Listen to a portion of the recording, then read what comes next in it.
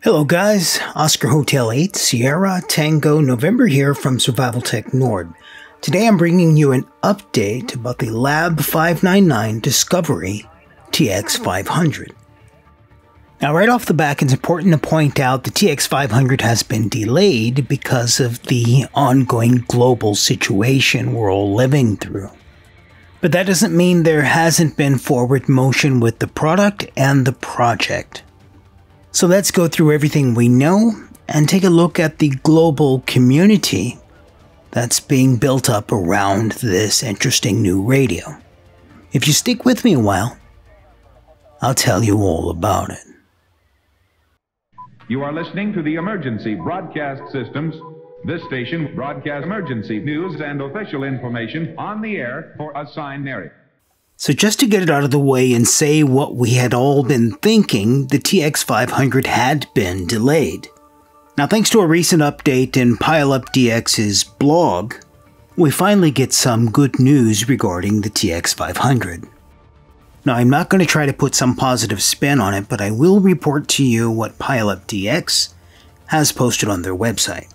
Now, in PileUp's blog post, they say the ongoing global problem we can't actually mention in this video without being demonetized is the reason for the certification delay. Now, personally speaking, I'm pretty ticked off about global bureaucrats killing or stifling innovative new products. With that said, the TX500 is definitely worth waiting for.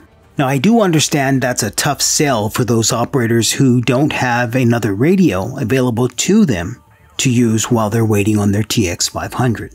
If you go back and look at my very first review of this radio, I talk about it being the first rugged amateur radio for HF and 6 meters available to the amateur radio community. This radio fills a niche for a rugged radio which actually hasn't been filled before.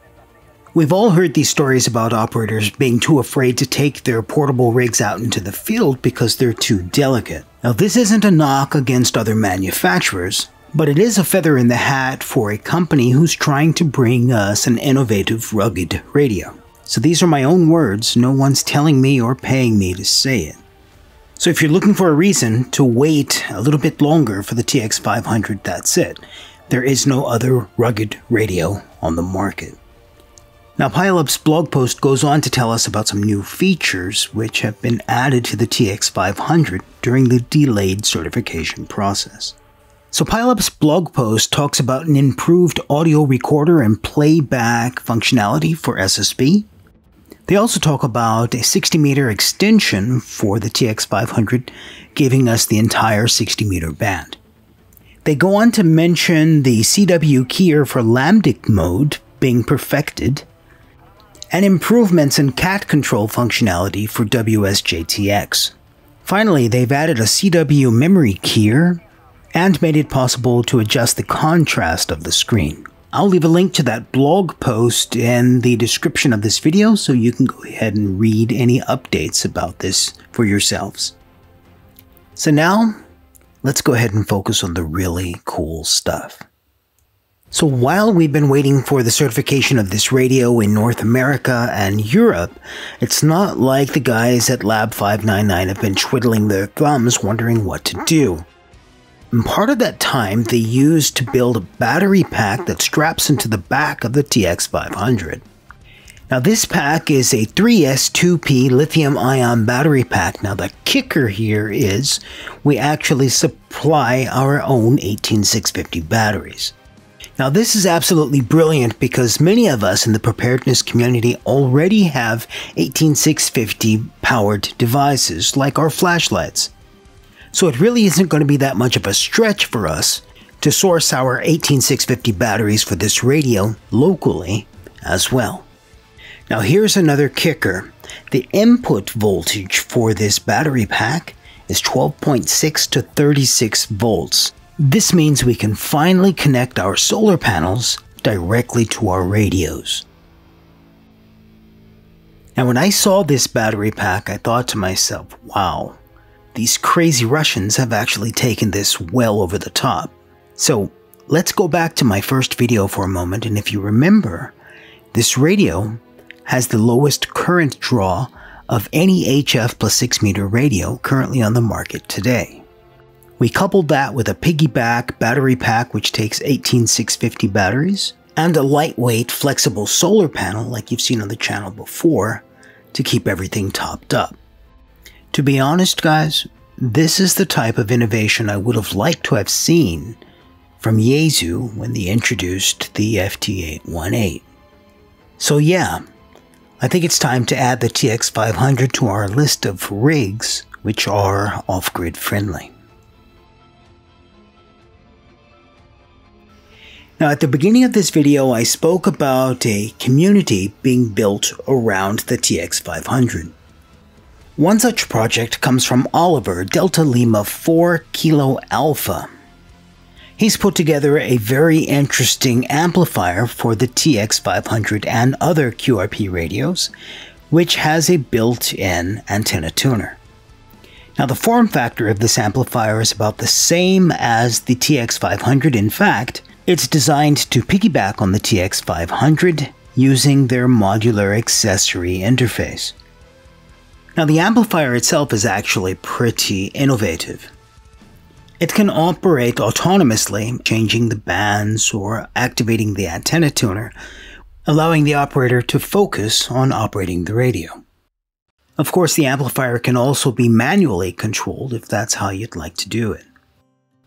Now, the reason I'm mentioning this amplifier, it's not only because it's a TX500 accessory, it's because I've ordered one for my hopefully soon to arrive TX500.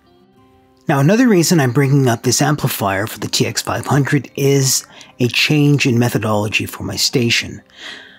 I'm primarily going to be using low power radios like the TX500, but I'm going to augment them with an amplifier if and when it's necessary.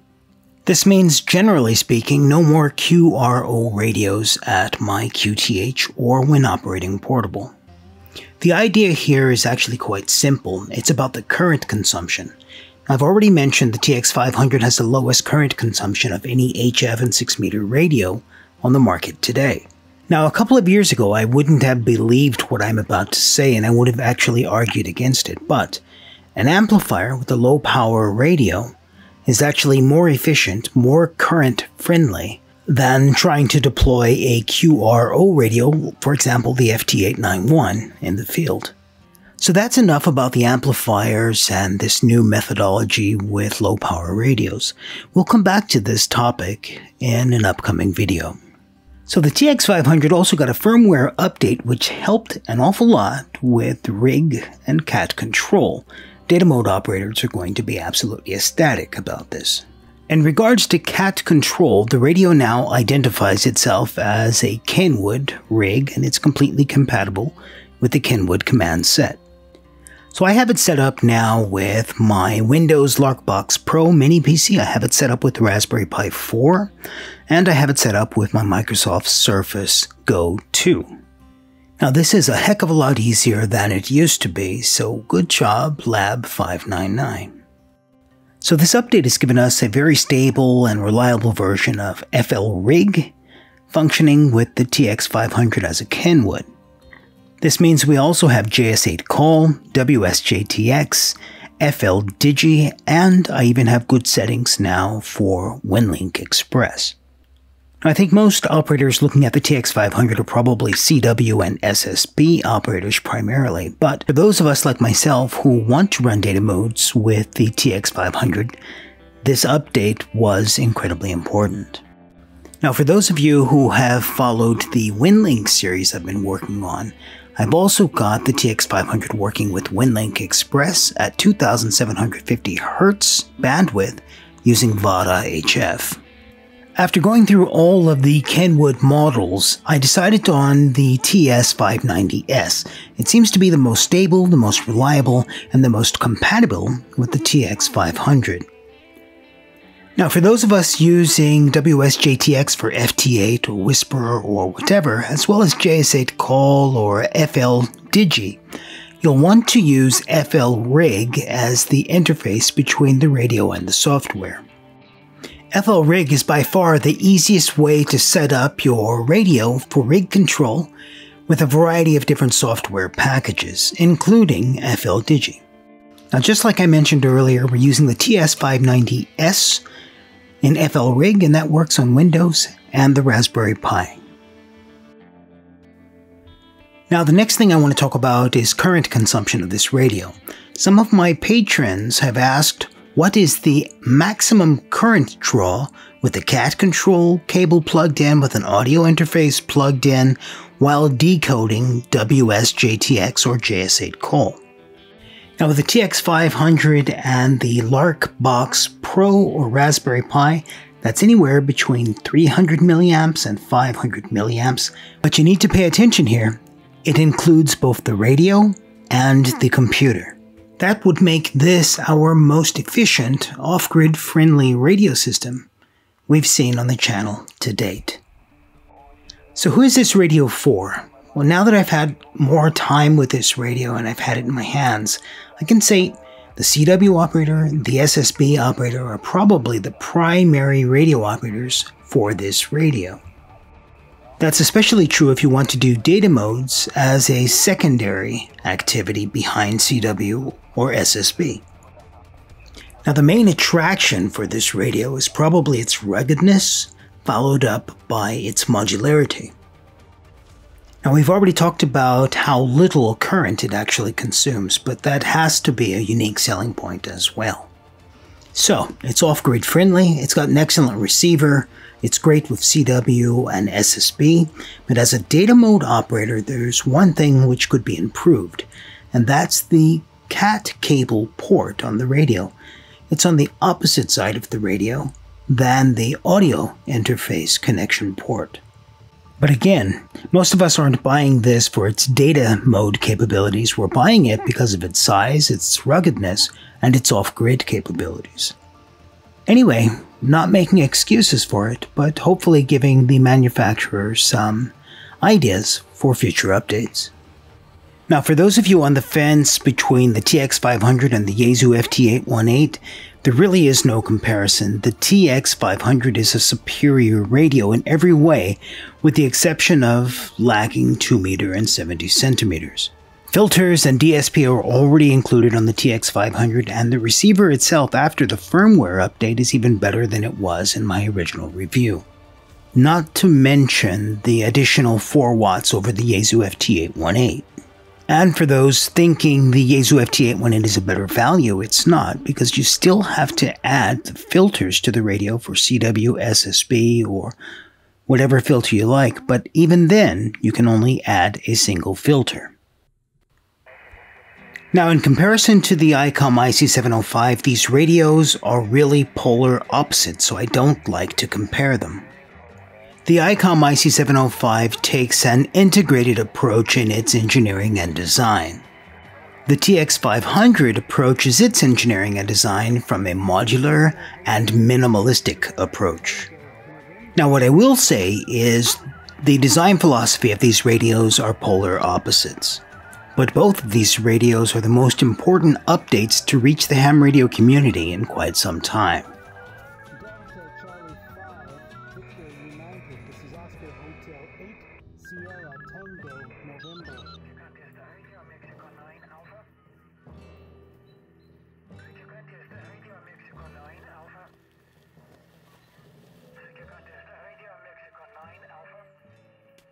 So let's go ahead and close down this video, guys. I'm just as frustrated as most of you are about the delay in certification.